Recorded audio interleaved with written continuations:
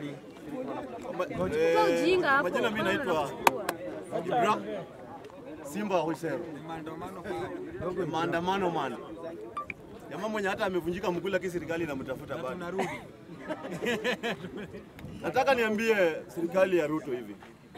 Saa hii serikali Ruto baada ya kufikiria venye anatupunguzia unga anatembea juu ya gari. Saa hii siku ya nyani kufa miti zote uteleza.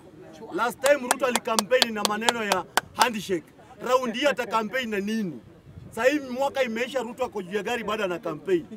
Sasa hii Ruto bado anazidi kumake promise. sasa anazidi kutaja mzee wa vitandawili. Raundi hii baba anaenda kuchukua urais mapema na anasema ati last time hawakushinda walikuwa na deep state. Raundi hii atashinda smooth.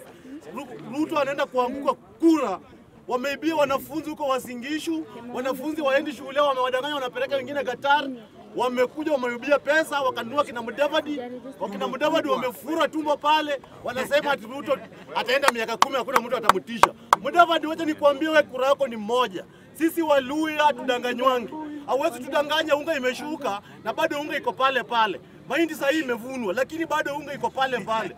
So in, kama ikiisha miezi tatu unga itakuwa wapi? Ukiona, So sisi, ukiona kuku wengi sisi hatutaki kudanganywa, sisi tumechoka na Ruto. mi- Miti yote imeteleza na huyo Gashagua wake huyo wanashinda wakifuatana fuatana wakinyamba nyamba huko wakidanganya Wakenya kenya kwamba maisha itashuka chini. Wametenga, wametenga ati miradi wame...